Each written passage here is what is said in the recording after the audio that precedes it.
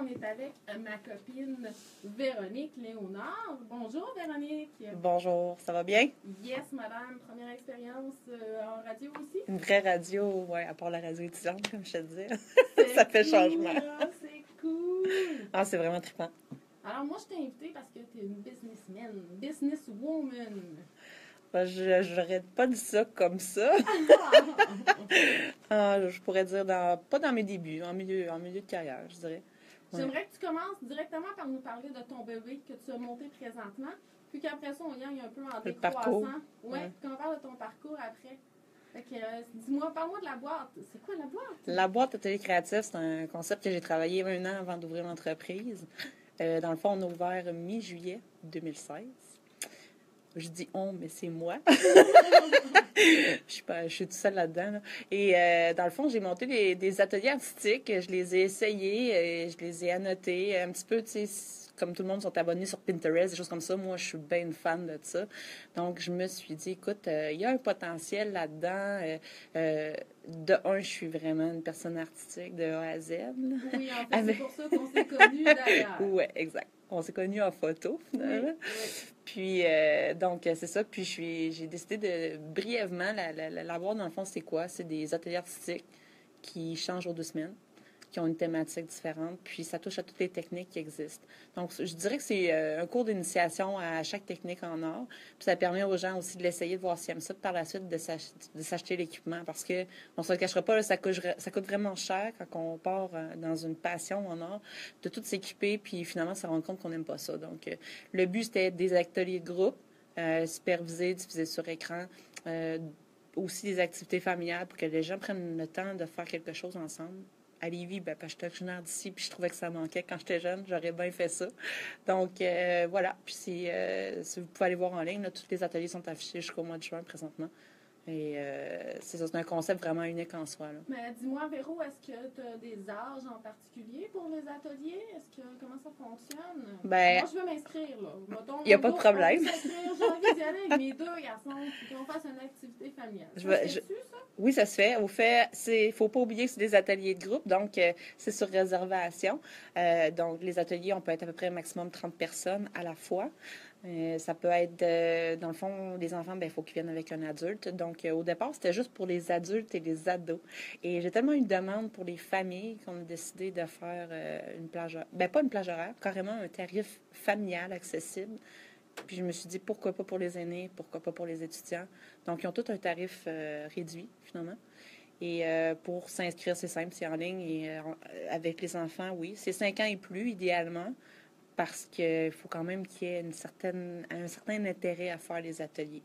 Sinon, ça demande quand même de la surveillance. Aussi, donc c'est pour ça qu'on demande... faire du bricolage, mais il y a certains produits qu'on ne peut pas utiliser non plus avec les jeunes âges. Bien, certains ateliers sont plus dangereux, donc mm-hmm. c'est pourquoi je, je, je, demande aux adultes de superviser. En général, ça va super bien.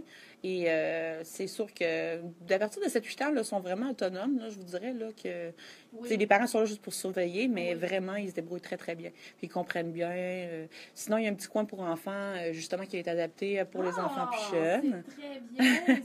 pour éviter de payer une gardienne et de ne pas avoir de défaites pour ne pas venir, finalement. Ah, bravo! Donc, il n'y en a pas de défaites. Non, exact. je veux dire, on pense, j'ai pensé pas mal à tout, là, sur tout l'aspect. Puis les enfants, souvent après un an, sont tannés. Là, fait qu'ils ont leur petit coin, on leur met un film, puis les parents, ça leur permet de terminer leur atelier euh, paisiblement. ah, c'est cool. Est-ce qu'on s'inscrit de manière récurrente ou c'est une session? Comment ça fonctionne? Dans le fond, c'est des, des cours de deux heures. D'accord. Euh, ben, dans le fond, l'horaire, c'est pas compliqué. C'est du mercredi au samedi. Mm-hmm. Euh, les ateliers sont sur des tranches de deux heures. Donc, pendant deux semaines, du mercredi au samedi, l'atelier s'offre à toutes les deux heures. Donc, mettons exemple, en ce moment, c'est euh, du string art. C'est du fil tendu sur clou ah, en français. String, art. Donc, euh, cet atelier-là, présentement, est offert et les gens s'inscrivent d'avance. Puis, s'il y a un autre atelier qui vous plaît, vous pouvez vous inscrire. Donc, c'est pas, c'est pas des cours là, au loisir par saison. C'est vraiment à, la fois, finalement. D'accord, d'accord. Donc, Vous prenez celui qui vous intéresse, vous essayez celui qui vous intéresse, tout simplement. Ah, il me semble que moi, ça me tente d'essayer ça. Bon, ben, voilà. Ou essayer quelque chose de nouveau. Finalement, c'est ça le but, c'est de découvrir des, des, des nouveaux euh, médiums artistiques, puis de, de, découvrir des passions. Puis dis-moi, Véro, est-ce que tu as étudié dans un domaine connexe? Est-ce que tu as étudié en art? Parle-nous ton parcours un peu, je veux savoir. C'est un peu long.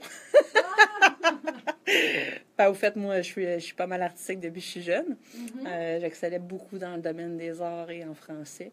Pour le reste, j'avais un peu moins d'intérêt. Mais j'ai poursuivi au secondaire, donc tout ce qu'il y avait des, des, cours en art, je les faisais. Et euh, au cégep, j'ai décidé de faire le deck en art plastique. Donc, euh, encore là, je dirais que mes parents m'ont dit Qu'est-ce que tu vas faire en art Donc, tu écoutais ton cœur. Voilà. Mm-hmm. J'ai tripé. C'était au cégep de Sainte-Foy. J'ai fait mon, mon prix universitaire là. J'ai essayé toutes les médiums qui existaient. Ça m'a coûté une beurrée, mais je pense que mes plus belles années, honnêtement. J'ai vraiment aimé ça. Euh, on avait des ateliers toutes de photos, de sculptures, de peinture, euh, alouettes. Même, on a fait des, des, affaires de coulage en bronze, tu sais. On a tout touché. Je partage C'est, c'est malade. Alors, après ça, il manquait à savoir qu'est-ce que je fais. Et euh, on a une épreuve uniforme euh, et non de français, mais d'art, euh, d'analyse synthèse qui appelle après le, à la fin du deck. Donc, il faut trouver un projet qui va nous faire passer notre, deck, finalement. Et moi, j'étais beaucoup portée sur Photoshop. Ça commençait à sortir dans ce temps-là. J'en touchais beaucoup des... J'allais trouver des photos sur Google, OK? Puis euh, je barbouillais ça dans le Photoshop, je faisais des montages beaucoup sur les enfants de la guerre. J'étais vraiment très investie au, au cégep. Euh, mm-hmm. Tout ce qui était autour de la grossesse. Euh, en tout cas, c'était des thèmes vraiment particuliers. Puis, je l'ai fait sur les enfants de la guerre. Donc, des enfants avec des numéros sur les yeux, avec des bandes noires. un peu comme dans l'époque nazie, quand ils identifiaient des, cadavres. Mais moi, ça m'attristait de voir des enfants soldats. Alors, voilà ça m'a fait euh, passer mon cours. C'était de l'art conscient. Oui, c'était très engagé, comme on dit. Puis, euh, rendu, euh, j'avais le choix d'aller soit enseigner en art plastique, aller faire le bac en art plastique à l'Université Laval, ou de faire le bac en design graphique. à cette époque-là, les cours d'art commençaient à s'enlever au cégep ça me sonnait pas des cloches. Je me disais, bon, euh, je m'en vais faire quoi, là? Je vais travailler à temps partiel là-dedans. Donc, le domaine euh, graphisme, euh, il y avait du potentiel. tout ce qui est média, hein, tout ce qui est site web. donc, je suis allée faire ça. J'ai vraiment rushé ma vie pendant quatre ans parce que les logiciels n'étaient pas obligatoires à savoir. Donc, moi, je les ai appris durant les, les quatre ans, mais j'ai trouvé la technique la photographie qui m'a vraiment aidé à réaliser les idées que j'avais. Donc, euh, j'avais une forte dominante en photo à l'université. Puis, en même temps, ben, j'ai commencé à travailler comme photographe.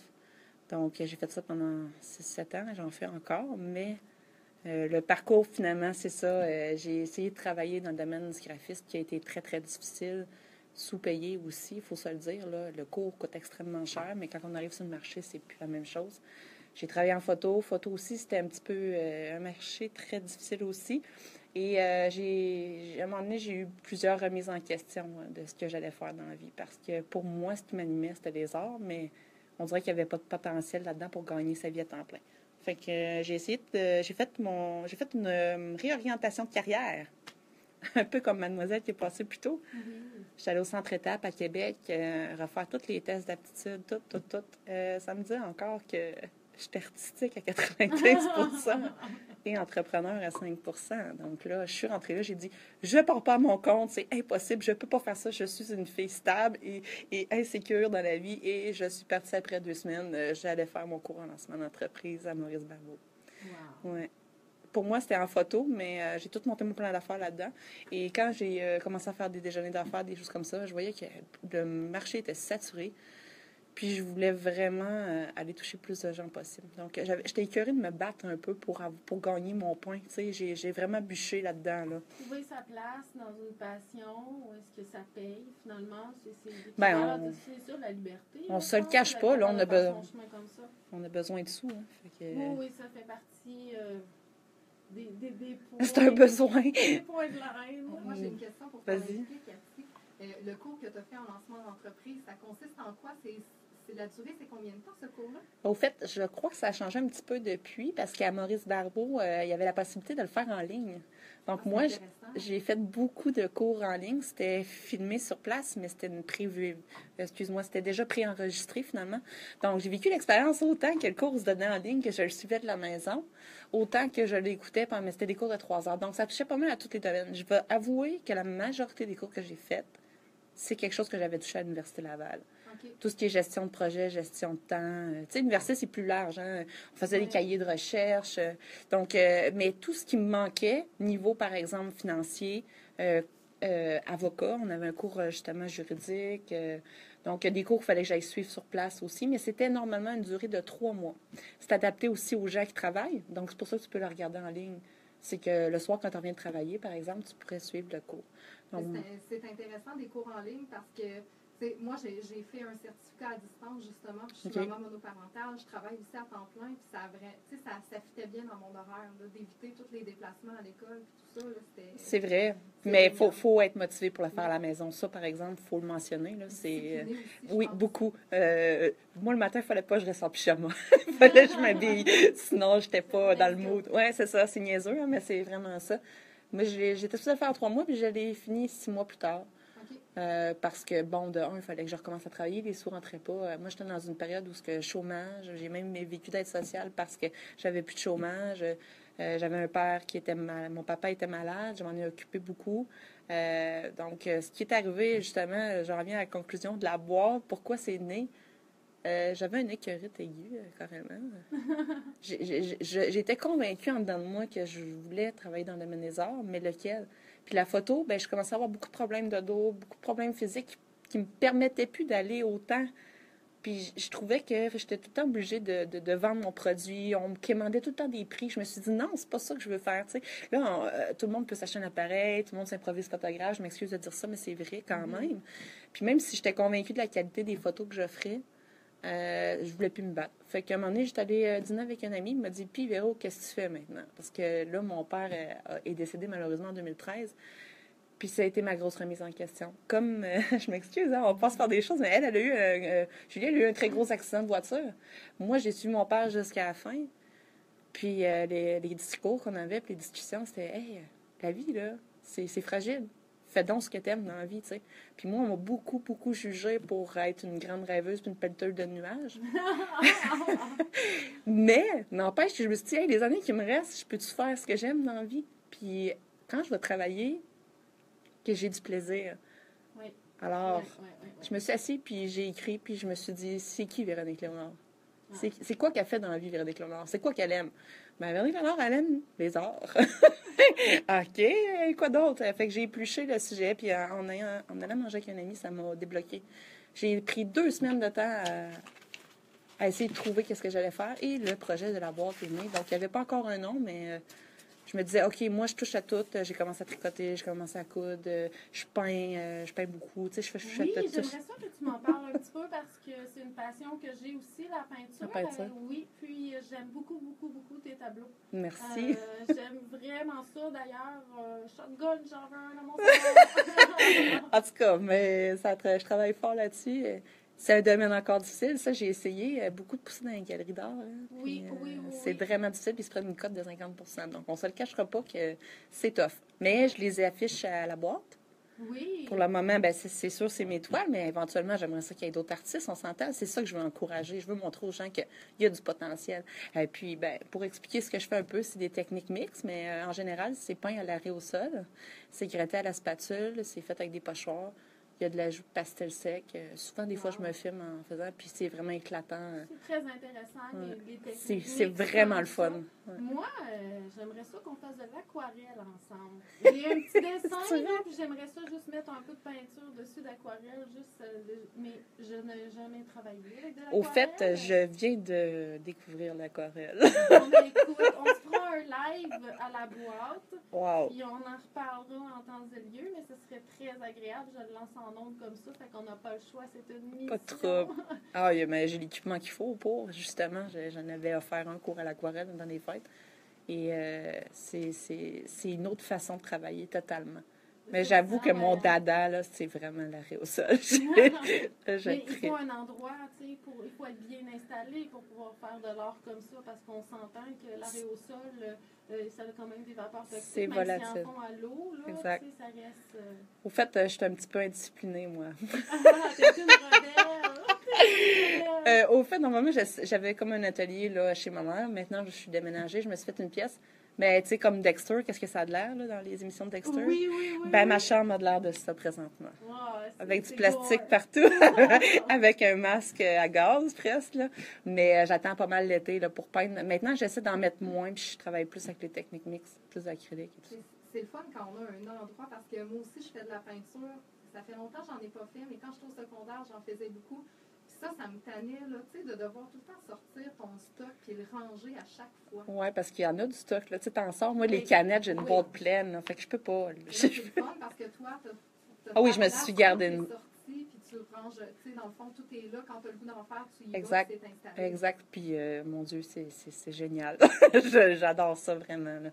Mais moi, c'est ça, j'ai recommencé à peindre et à créer beaucoup quand mon père est décédé. Tu sais, je l'ai autant utilisé comme thérapie, autant comme défoulement, autant comme plaisir et passe-temps, parce que pour moi, c'est une façon de m'évader puis de méditer.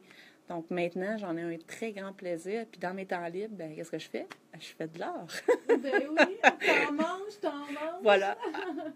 Hey, euh, tu tricotes aussi? Euh, oui. Tu fais de la, du gros tricot comme une grand-maman? Ouais, on riait de moi il y a quatre ans, hein, parce que je commençais à tricoter. Et maintenant, c'est à la mode. Hein? Ah, la mode. Voilà, tout le monde voulait que je leur fasse un petit, Ah, euh, ben un petit chapeau, whatever, un foulard. Maintenant, je disais, hey, venez à la boîte, je vais vous le montrer. Mais c'est génial, mais hey, je sais pas, t'as t'as vu ça passer l'article là, dans le journal? euh, Z. Ce serait pas moi qui aurais partagé ça, d'ailleurs. Euh, Oui, ça se peut, ça se peut. Euh, Il y a une femme de Wakefield. C'est où Wakefield? Wakefield. Au Saguenay, je Wakefield. Wake, ça veut dire le terrain éveillé. Ouais, c'est nice. OK, donc, une femme de Wakefield qui s'appelle Alice Fournier. Euh, elle a 70 ans. Puis elle, elle tricote beaucoup, beaucoup. Mais en fait, elle ne fait pas des pantoufles en texte ou des affaires de même. Mesdames et messieurs, elle fait des chauves zizi. J'allais dire des caches-sexes, mais euh, Ben, ouais. c'est ça aussi. Mais des ça, ils en font cachettes. pour les bébés, là. Tu sais, ils font des. euh, comment ça s'appelle? Des pipi-tipi, je pense, pour les Oh bébés. mon Dieu, Oui, j'ai jamais vu ça. Oui, je comprends, oui, un Ah ouais. pipi, un pipi tipi, un pipi tipi, Ça, une c'est pour éviter là, les, Les- pompiers. les pompiers, là. ouais, quand ouais. tu changes ton bébé, la couche, oh non, un pipi. Bon, les pipi tipi, c'est pour éviter les pompiers. Mais ça, par exemple, c'est en fait euh, le zizi, c'est comme vous irez voir sur Internet. Elle a vu qu'il y avait un potentiel parce qu'au lieu de tricoter des pantoufles, ben, elle s'est dit, crime, il a marché pour ça. C'est pour ça que j'avais, j'avais partagé ça en rigolant. Je me suis dit, Hey, il y a un marché. je pourrais me lancer là-dedans. Mais c'est- c'est quand même quelque chose, là, parce que elle dit que ceux-là qui se vendent le plus, c'est ceux-là aux couleurs de, de, de sport et de hockey. Tu sais, je Non. sais pas, en même temps, t'arrives, tu, tu rencontres un gars, hey, salut, non, non, non, t'en vas écouter Super Bowl, puis euh, bon, en fin de soirée, c'est très chaud. Bon, tu couches pas de même, là, mais mettons, mettons, mettons. Il descend ses culottes, puis tu tombes avec un cache Dizzy avec des couleurs de X, Y, Z d'équipe de football. Ouais, c'est, c'est, Ok. c'est coquin. OK! C'est très coquin, c'est très, très, très coquin. Honnêtement, je suis surprise. Moi, je trouvais ça un peu quétaine. Je trouvais ça drôle, mais je me suis dit, écoute, s'il y en a qui l'achètent, euh, c'est un drôle de cadeau. Ben, un- ouais, En blague, là, offrir ça en cadeau à Noël, là, euh, ça peut être cocasse. faudrait quand même qu'il le laissait au moins une fois. Tu sais, peut-être que c'est très confortable au fait, puis on le sait pas. Ouais, ouais, des fois, la laine, ça pique. là. Non, pas l'acrylique. Ouais, il faudrait que ça soit. Mais reste, écoute. Ça reste de choses, ça, je te le dis. C'est pas naturel. Qu'est-ce qu'on va faire? Il faut qu'on mette du coton sur les parties. euh. Ah, ça, ça va être lourd. Oh là Surtout, là là. ne pas oublier de le laver. Hein. Euh. Ça serait une bonne idée aussi. Mais- C'est comme l'équipement de hockey, à un moment donné, ça sent. Oh, ben c'est justement en parlant de le laver, là. Euh, elle dit en blague, euh, elle dit en blague, euh, la dame Alice, Alice, ce n'est pas Alice au pays des merveilles, c'est Alice, la tricotiste. Mais elle dit frotter légèrement à la main avec un détergent doux, rincer à l'eau et ne pas tordre. Peux-tu le laisser en place quand tu le frottes légèrement à la main? ben c'est ça. Écoute, on veut. ah, c'est ça. Elle dit On sécher à plat, en fait, ouais. Part de ça, Véro, t'aimes bien la Mais je, ne tricote pas ça, Non! pour préciser. Écoute, s'il y a des demandes spéciales, Mm. euh, oh, on en reparlera. Mais t'es une fille qui est un peu musicale quand même. Ah, aussi, ah oui, j'adore la musique. J'adore tout ce qui est communication et art. Ah ouais, hein, ben c'est ça. Voilà. C'est- c'est- Je suis bien d'accord avec toi. Donc, on va enchaîner avec une toune de Wyclef, Guantanamera. Puis ensuite, une toune de Snow Da Product, euh, Suavemente. Ça va nous mettre euh, un petit peu de soleil. Ben, ah oui, de la chaleur. Ça va mettre de la chaleur sur. Combien il fait aujourd'hui? Il faisait moins 10 quand je m'en venais tantôt. Ouais. Moins 10, ouais. Pour la parade du carnaval, là, ouais. La chaleur. D'amour et de chaleur. Mais j'aimerais ça qu'on rappelle aux auditeurs là, les coordonnées. Là, si les gens veulent aller à, à, ton, à la boîte et tout ça. Là, Bien sûr. Ça... Ben oui, on oublie ça. la boîte des créatifs, c'est sur le boulevard Louis XIV. Euh, Louis XIV, rapport. Guillaume Couture. Guillaume... Hey, moi, j'étais encore à Québec. Oh, c'est parce qu'on a changé de nom. Je, voulais, je veux tellement pas me tromper et dire boulevard de la Rive-Sud que j'en dis un autre. Donc, la 132, bref. Euh, on n'est pas loin de la radio ici. On est 52-55 sur le boulevard Guillaume Couture. Et on est sur l'aile droite de la bâtisse. Euh, vous pouvez aller voir le site internet www.laboîte, au pluriel, créatif au pluriel.com. Vous allez avoir toutes les informations de l'entreprise, aussi les ateliers en cours et les réservations en ligne. Donc, vous allez pouvoir même avoir, il y a une boutique en ligne aussi si vous voulez aller oui, voir. j'ai vu que tu avais des beaux petits lipsils maison, des bombes pour le bain, puis des trucs très coquets. Oui, puis il y a même des cours en ligne que présentement on commence à travailler. Donc, tout va, on, on se dirige vraiment dans tous les médiums possibles pour euh, atteindre les gens. C'est très, très, très varié ce que tu fais. Voilà. C'est capoté. C'est de la job, mais on aime ça. oui, ben c'est ça. La passion, l'amour des arts. Voilà, ça a de l'air moins pire quand on aime ça, justement. Alors, on y va avec